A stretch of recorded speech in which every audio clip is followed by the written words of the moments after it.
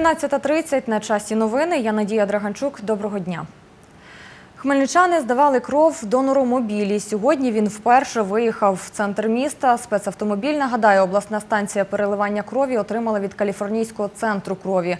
Перший виїзд машини медики присвятили Всесвітньому дню донора. Світлана Русіна далі.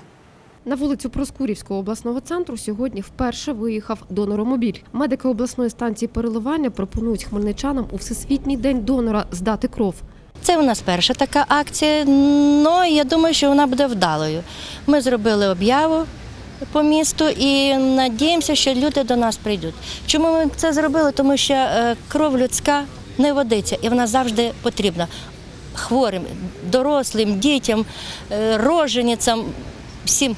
За словами Евеліни Мартинюк, здавати кров можуть повнолітні здорові люди, які поснідали зранку і мають добре самопочуття. Вага донора не повинна бути меншою 50 кілограмів. Перед процедурою охочим здати кров пропонують відповісти на запитання анкети. Анатолій Анатолійович. Анатолій Вичавка здає кров більше трьох років, кожні два місяці. Те, що стає поштовхом для будь для будь-якої людини, тобто виникла потреба в знайомого, коли е, родичі попали в лікарню, бо перший раз завжди дуже страшно.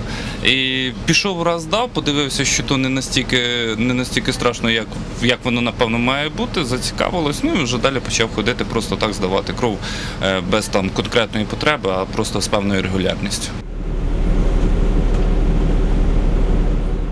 Спочатку у людини, яка вирішила стати донором, беруть аналіз на гемоглобін. Після цього вона випиває чай з печивом, і вже після цього у цієї людини беруть кров з вени. 20-річна Олена Карпова, координаторка соціального проекту Здай кров, подаруй краплину надії. Здає кров в дев'яте у житті. Я задоволена, весела, радісна, як бачите, не плачу, як деякі роблять. Процедура триває від 5 до 10 хвилин. У тих, хто став донором вперше, забирають 250 мл, у решти 450. Набирає мішочок крові, і він розподіляється вже на лікарні. Де сама більша потреба є крові, туди ми відправляємо її, де запит є на нього. І отак от нам допомагають, дякуємо їм. Акція із забору крові на вулиці Проскурівській сьогодні тривала 5 годин. Світлана Русіна, Дем'ян Цегольник, новини Поділля Центр. Мама тримісячної дівчинки, хмельничанка Тетяна Дублянко, не може купити вакцину АКДС європейського виробництва в аптеках обласного центру. За її словами, робити дитині щеплення саме таким препаратом порадила їй дільничний педіатр. Зараз у хмельницьких аптеках цих вакцин немає. Аби їх придбати, необхідно ставати у чергу та чекати кілька місяців. Через це порушується календар щеплень, вважає Тетяна Дублянко. Коли нам було два місяці, ми ходили до нашого педіатра на прийом, і е, вона сказала, що пора робити прививки чергові. Сказала, що в них в поліклініці є індійська вакцина, але оскільки в неї дуже багато є е, реакцій в дітей, це і температура, і висипи, і таке інше.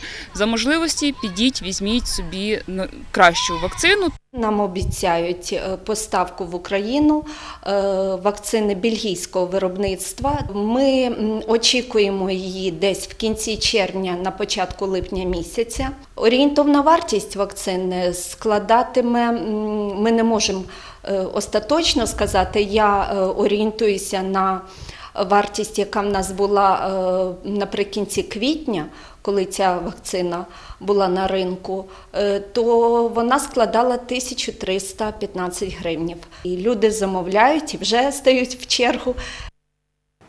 Розгорнуто про це плануємо розповісти нині у підсумковому випуску новин. Запобіжний захід обиратимуть сьогодні трьом жителям Хмельницького. Їх підозрюють у вимаганні грошей. Як повідомила прес-секретар Хмельницького міськрайонного суду Алла Плінська, засідання призначене на 14 годину. Нагадаю, чоловіків 27, 28 та 32 років затримали 12 червня на одній з вулиць Хмельницького. За словами керівника прес-служби обласного управління Нацполіції Інни Глеги, ця група осіб, застосовуючи фізичне насильство та психологічний тиск, вимагала неіснуючі борги у громадян.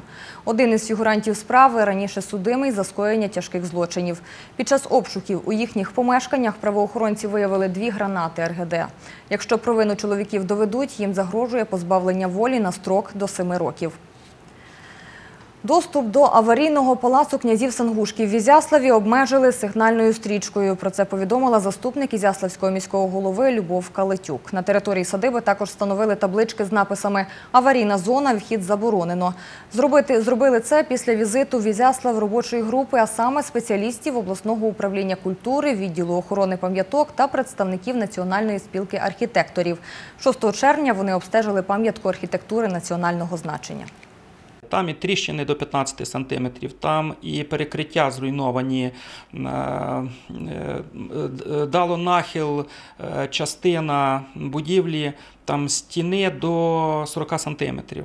В принципі, але нас вразило те, що е, чекаючи нашого приїзду, е, пам'ятка, яка є е, в гостро аварійному стані і є небезпечною для життя, передусім дітей, які там граються, навіть не була обгороджена. Зараз ідуть домовленості по виготовленню проекту на першочергові протиаварійні консерваційні роботи. В аварійному стані в Ізяславі фарний костел. Його фото ви зараз бачите на екрані. За словами Сергія Шпаковського, покрівля пам'ятки може обвалитися у будь-який момент. Територія навколо нього наразі не обгороджена, немає там і попереджувальних табличок, повідомила заступник Ізяславського міського голови Любов Калитюк. Та додала, обгородити територію костелу мають до кінця тижня. Хмельницька поетеса і журналістка Наталія Поліщук презентувала свою другу поетичну збірку «Час квітів». Над книгою авторка працювала впродовж двох років. У поетичній збірці понад півтори сотні віршів, твори структуровані на сім розділів. Кожен має квіткову назву. Про що ця книга дізнавалася Ірина Хижа.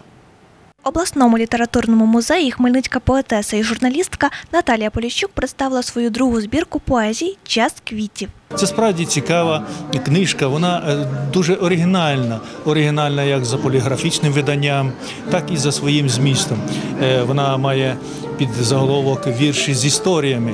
І тут е, розповідається трошки про, про самі вірші, про якісь от ті е, моменти, які дали натхнення для творення е, поезії, чи імена, з якими пов'язані ці вірші. У поетичній збірці Час квітів уміщено понад півтори сотні віршів. Твори організовано у сім розділів, що мають квіткові назви. наче чорна кобилиця з золотими підковами, танцювала сеньорита, закидаючи голову.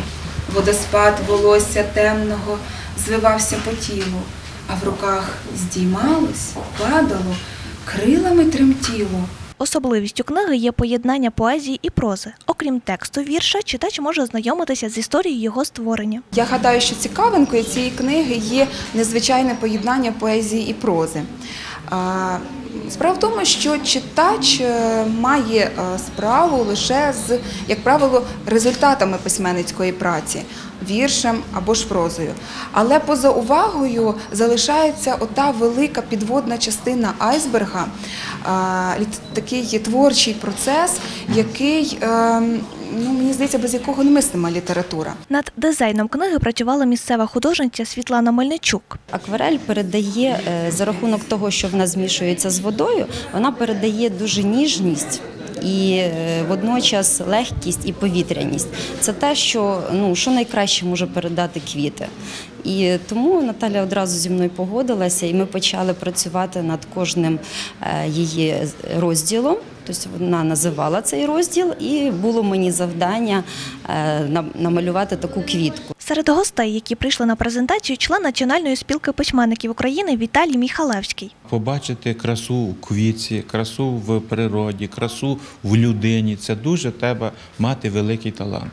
Я бажаю пані Наталі, щоб вона далі розвивала свій талант. Хай в неї буде постійно приходить натхнення, хай їй допомагають рідні, близькі і, звичайно, друзі по перу. Це друга збірка Наталії Поліщук. Третя матиме назву На глибині. Авторка вже розпочала над нею працювати. Ірина Хижа, Олександр Горішевський. Новини Поділля Центр. На цьому наш випуск завершено. Я прощаюся з вами і бажаю вдалого дня.